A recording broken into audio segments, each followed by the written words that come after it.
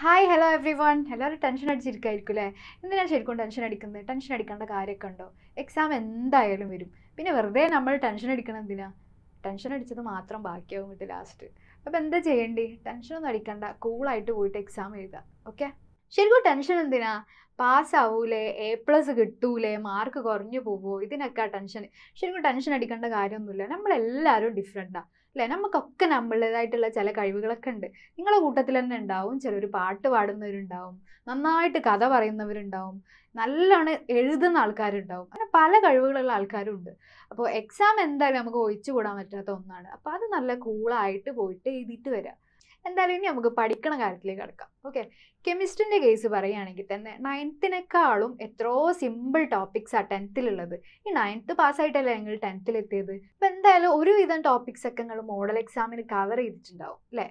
അപ്പോൾ മോഡൽ എക്സാമിന് നല്ലോണം പഠിച്ചവരുണ്ടാവും നല്ലോണം പഠിച്ചിക്കണ് പക്ഷേ വേണ്ടത്ര പെർഫോം ചെയ്യാൻ പറ്റാത്തവരുണ്ടാവും.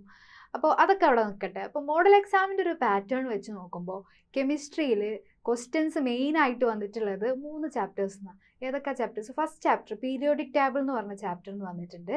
പിന്നെ തേർഡ് ചാപ്റ്റർ റിയാക്ടിവിറ്റി സീരീസ് പറഞ്ഞ ചാപ്റ്റർ പിന്നെ ഫിഫ്ത്ത് ചാപ്റ്റർ ഏതാണ് കോമ്പൗണ്ട്സ് ഓഫ് നോൺ മെറ്റൽസ് ഈ മൂന്ന് ചാപ്റ്റേഴ്സ് നിന്നാണ് മോഡൽ ക്വസ്റ്റ്യൻ പേപ്പർ പ്രകാരം നോക്കുകയാണെങ്കിൽ മെജോറിറ്റി ക്വസ്റ്റ്യൻസ് വന്നിട്ടുള്ളത്. അല്ലെങ്കിൽ മോർ മാർക്കിന് ക്വസ്റ്റ്യൻസ് വന്നിട്ടുള്ളത് ഈ മൂന്ന് ചാപ്റ്ററിനാണ് ലാസ്റ്റ് ഇയറും ഇതുപോലൊക്കെ തന്നെ ആയിരുന്നു ബട്ട് ഇതിന്റെ കൂടെ പ്രൊഡക്ഷൻ ഓഫ് മെറ്റൽസ് എന്ന് പറഞ്ഞ ചാപ്റ്ററും കൂടെ ഉണ്ടായിരുന്നു.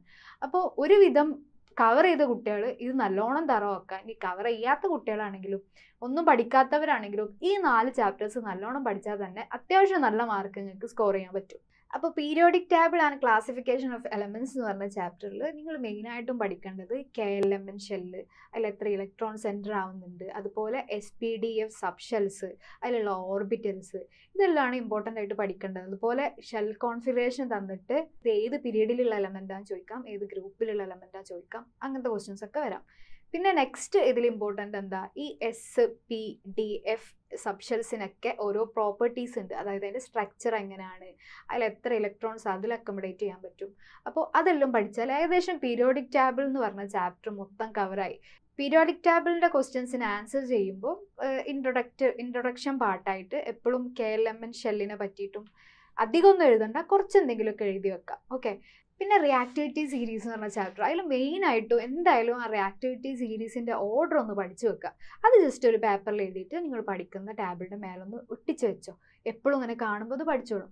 ഓക്കെ പിന്നെ അതിൽ ഇമ്പോർട്ടന്റ് ആയിട്ട് ചോദിക്കാറുള്ളത് സെൽ റിയാക്ഷൻസാ പോലെ ഗാൽവാനിക് സെല്ലിനെ പറ്റി ചോദിച്ചു കഴിഞ്ഞാൽ സെൽ റിയാക്ഷൻ എഴുതി വെക്കുക അതിന്റെ ഒരു പിക്ചറും വരച്ചു വെക്കാം. പിക്ചർ മാത്രമാണ് നിങ്ങളുടെ അടുത്ത് വരക്കാൻ പറഞ്ഞിട്ടുള്ളതെന്നുണ്ടെങ്കിൽ റിയാക്ഷനും കൂടി എഴുതി വെച്ചോ.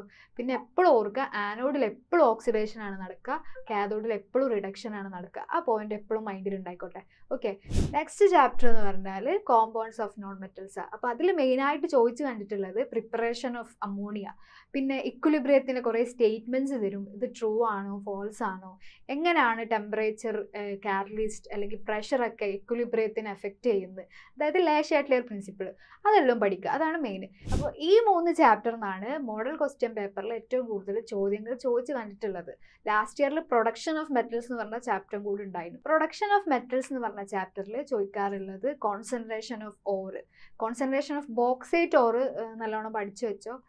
ഏതാ വരാന്നൊന്നും അറിയില്ല കാരണം കുറച്ചെണ്ണത്തിന്റെ എക്സാമ്പിളൊക്കെ ടെക്സ്റ്റിൽ പറയുന്നുണ്ട്. അതുപോലെ ബ്ലാസ്റ്റ് ഫർണസിൽ നടക്കുന്ന റിയാക്ഷൻസ് പിന്നെ മിനറൽ എന്താണ്? ഓർ എന്താണ്? അവർ തമ്മിലുള്ള ഡിഫറൻസ് പിന്നെ ഈ ചാപ്റ്ററിൽ നിന്ന് വരുന്ന വേറൊരു ടൈപ്പ് ഓഫ് ക്വസ്റ്റ്യൻ ആണ് എ ബി സി കോളം വരും. ഈ ചാപ്റ്ററിൽ നിന്നല്ല വേറെ ചാപ്റ്ററിൽ നിന്നും വരാം. അപ്പോൾ അങ്ങനത്തെ ക്വസ്റ്റ്യൻസ് വരുമ്പോൾ ക്വസ്റ്റ്യനിലുള്ളത് അതേപോലെ ആൻസർ ഷീറ്റിലേക്ക് എടുത്ത് എഴുതി വെക്കരുത്. ഓക്കെ എ ഓപ്ഷനിൽ അല്ലെങ്കിൽ എ കോളത്തിൽ എന്താണോ ഉള്ളത് അത് ഫസ്റ്റ് എഴുതിയിട്ട് അതിന് കറസ്പോണ്ടിങ് ആയിട്ടുള്ള ആൻസർ ബിയിൽ എന്താണോ അത് എടുത്ത് എഴുതുക. പിന്നെ സിയിൽ എന്താണോ അത് എടുത്ത് എഴുതുക. അങ്ങനെയാണ് ഈ ടൈപ്പ് ഓഫ് ക്വസ്റ്റ്യൻസ് അറ്റൻഡ് ചെയ്യേണ്ടത്. ഓക്കെ അപ്പോൾ ഈ നാല് ചാപ്റ്റേഴ്സ് നല്ലോണം പഠിക്കുക നല്ലോണം സ്കോർ ചെയ്യുക. അത്രേ ഉള്ളൂ. പിന്നെ പഠിക്കാനിരിക്കുമ്പോൾ എന്ത് ചെയ്യുക ഓരോ ചാപ്റ്ററിനെയും ഫസ്റ്റ് ചാപ്റ്റർ വായിക്കുന്നതിന് മുമ്പ് തന്നെ അതിന്റെ ഇൻടെക്സ്റ്റ് ക്വസ്റ്റ്യൻസ് ഉണ്ടാവുമല്ലോ ബാക്കിൽ ആ ക്വസ്റ്റ്യൻസ് ജസ്റ്റ് എല്ലാം ഒന്ന് വായിച്ചു നോക്കുക അപ്പോൾ ഏകദേശം ഒരു ഐഡിയ കിട്ടും ഈ ചാപ്റ്ററിൽ എന്തൊക്കെയാണ് പറയുന്നത് എന്തൊക്കെയാണ് ഇമ്പോർട്ടന്റ് എന്ന്. എന്നിട്ട് ആ ക്വസ്റ്റ്യൻസിന്റെ ആൻസർ ഫൈൻഡ് ചെയ്യാന്നുള്ള കോലത്തിൽ ചാപ്റ്റർ വായിച്ച് പഠിക്കുക. അപ്പോൾ എന്തായാലും മെയിൻ ഐഡിയാസ് ഒക്കെ കവർ ചെയ്തിട്ട് പോകും ഓക്കെ അങ്ങനെ പഠിക്കണം. ഈ ജനറലായിട്ട് കുറച്ച് കാര്യം പറയാനുള്ളത് എന്താണെന്ന് വെച്ച് കഴിഞ്ഞാൽ എക്സാം ക്വസ്റ്റ്യൻ പേപ്പർ കിട്ടി കഴിഞ്ഞാൽ തന്നെ ഫുൾ ക്വസ്റ്റ്യൻസ് ഒന്ന് വായിച്ച് നോക്കുക ആൻസർ ചെയ്യുമ്പോൾ ആദ്യം ഒരു രണ്ട് മൂന്ന് ക്വസ്റ്റ്യൻസ് നിങ്ങൾക്ക് നല്ലോണം അറിയുന്ന ക്വസ്റ്റ്യൻസ് ചെയ്താൽ നിങ്ങൾ നല്ല കോൺഫിഡന്റ് ആയിട്ടുള്ള നല്ലോണം അറിയുന്ന ക്വസ്റ്റ്യൻസിന്റെ ആൻസേഴ്സ് എടുത്ത് എഴുതുക പിന്നത്തെ ഒരു ഒരു ക്വസ്റ്റ്യനോ അല്ലെങ്കിൽ രണ്ട് ക്വസ്റ്റ്യനോ പകുതി മാത്രം അറിയുന്ന ക്വസ്റ്റ്യൻസ് അറ്റൻഡ് ചെയ്യുക. പിന്നെ വീണ്ടും നല്ലോണം അറിയുന്നത് അറ്റൻഡ് ചെയ്യുക. അങ്ങനെ ആൾട്ടർനേറ്റീവ് ആയിട്ട് ഇങ്ങനെ അറിയണതും പകുതി അറിയണതും അറ്റൻഡ് ചെയ്തിട്ട് ഇങ്ങനെ പോവുക. ഏറ്റവും ലാസ്റ്റിലേക്ക് മാത്രം നിങ്ങൾക്ക് തീരെ അറിയാത്ത ക്വസ്റ്റ്യൻസ് അറ്റൻഡ് ചെയ്യാൻ വേണ്ടി ശ്രമിക്കുക. ശ്രമിച്ചാൽ മതി. ശ്രമിച്ചാൽ മതി മീൻസ് എന്തെങ്കിലും ആ ക്വസ്റ്റ്യനിലുള്ള എന്തെങ്കിലും വേർഡിനെ പറ്റിയോ അല്ലെങ്കിൽ എന്തെങ്കിലും ഒരു കൺസെപ്റ്റ് ആണെങ്കിൽ അത് എഴുതി വെക്കുക.